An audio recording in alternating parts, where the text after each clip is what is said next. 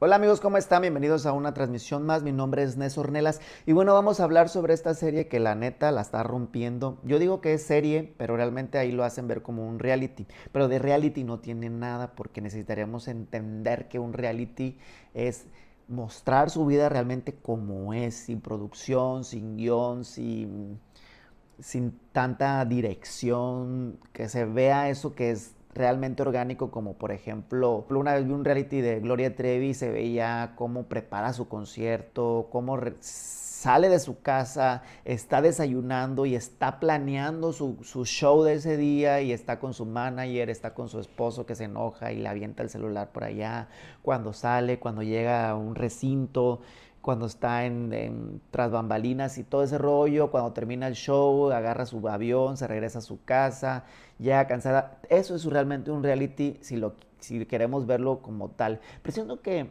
siento que este, más que un reality, es una serie que al final tiene una trama que te lleva a un producto final del objetivo que es hacer una canción, porque ya está por demás hablar que todo se ve súper falso desde el encuentro que tienen en el antro, en el bar, y que casualmente se encontraron con em, Lorena Herrera, que es súper íntima de Río, del de Río Roma, y que si eran íntimos de gimnasio antes, no entiendo cómo no le produjo una canción antes, ¿verdad?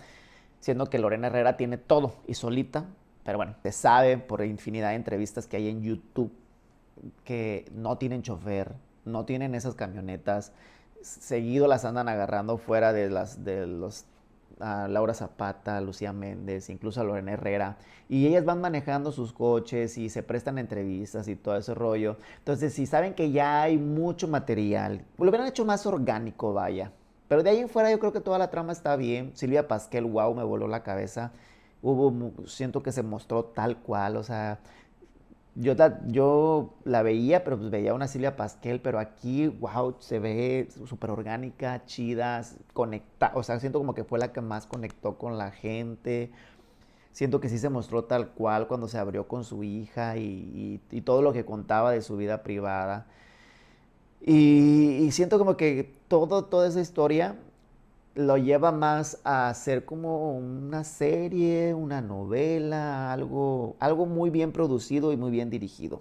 Pero siento que aquí lo único malo, lo único pero que yo le pondría esto es la palabra reality, porque realmente no lo es. Y no se necesita ser experto en reality como para entender que no es un reality. Entonces, a decirlo como es, una trama de una novela, una serie de chicas que se encuentran, se hacen amigas y que estaban en el medio y que son artistas y que todo confabuló para juntarse y hacer una super canción porque la neta, la neta, la canción está chida, está pegajosa, está padre, está actual, está en onda.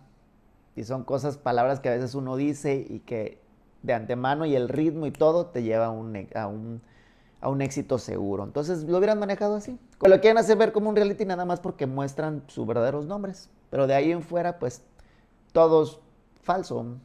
Las suburbans. Creo que sí son sus casas. Nada más esta Lucía Méndez se dice, se dice que no quiso mostrar su casa porque es muy pequeña. Y que era muy pequeña a comparación de las, de las demás. Y bueno amigos, esto es como datos curiosos de esta serie que si no la han visto, perdón, reality, que si no lo han visto, véanlo. Al final de cuentas está padre, está chido la trama. Te imaginas cómo unas artistas famosas se juntan y hacen todos, todos, de qué hablan y todas esas cosas. Hasta aquí mi video. Esta es mi reseña de cosas curiosas de la serie. Si no la han visto, vayan a verla. Suscríbanse, cuídense.